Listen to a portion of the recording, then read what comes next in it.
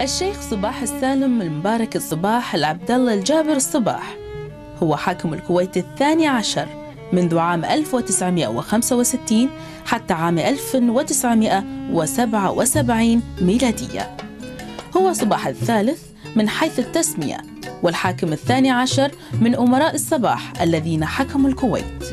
ولد في الكويت بتاريخ الرابع والعشرين من نوفمبر لعام 1915 ميلادية.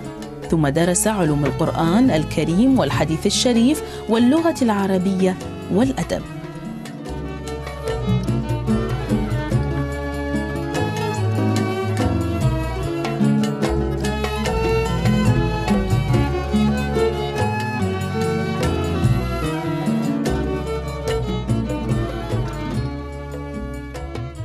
تسلم زمام الحكم في البلاد يوم الأربعاء الثاني من شهر شعبان لعام 1385 للهجرة الموافق للرابع والعشرين من شهر نوفمبر من عام 1965 وذلك بعد وفاة أخيه الشيخ عبد الله السالم الصباح رحمه الله. عهد إليه في عهد الشيخ أحمد الجابر الصباح إنشاء ورئاسة دائرة الشرطة العامة التي أصبحت فيما بعد تشكل وزارة الداخلية وكان ذلك في عام 1938 حيث بقي رئيسا لها طوال فترة امتدت 21 عاما. ثم عين رئيسا لدائرة الصحة في السابع من فبراير لعام 1959 وكان أول رئيس للخارجية قبل أن تصبح وزارة وذلك بتاريخ الثالث من أكتوبر لعام 1961 ميلادية. أصبح بعدها وزيرا للخارجية في أول وزارة شكلت في الكويت بتاريخ السابع عشر من يناير لعام 1962 وذلك في أعقاب حصول الكويت على استقلالها وإلغاء المعاهدة التي عقدها المغفور له الشيخ مبارك الكبير مع الحكومة البريطانية وانتخاب أول مجلس تأسيسي في الكويت. ثم أصبح نائبا لرئيس مجلس الوزراء بتاريخ الرابع والعشرين من يناير لعام 1962 ميلادية.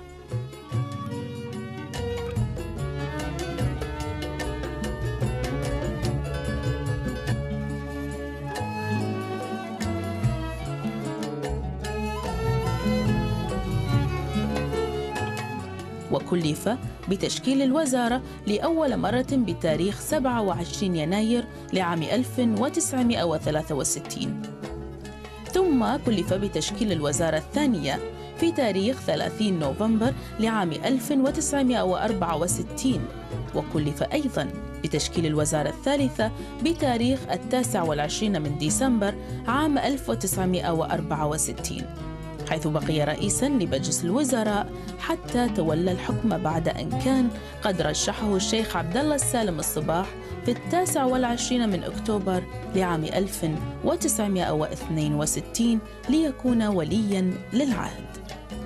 وزكى المجلس التأسيسي هذا الترشيح وكان خلال تلك الفترة الساعد الأيمن للشيخ عبد الله السالم وشهد كثير من المشاريع الحيوية ومن بينها مشروع مستشفى الصباح وافتتاح الدورة العربية الثانية لكرة القدم التي أقيمت بالكويت عام 1964 ثم نودي به أميرا للكويت يوم الرابع والعشرين من نوفمبر لعام 1965 خلفا لأخيه الشيخ عبد الله السالم الصباح. وكان من جميل الصدف أن تكون ذكرى مولده يوم توليه الحكم في البلاد.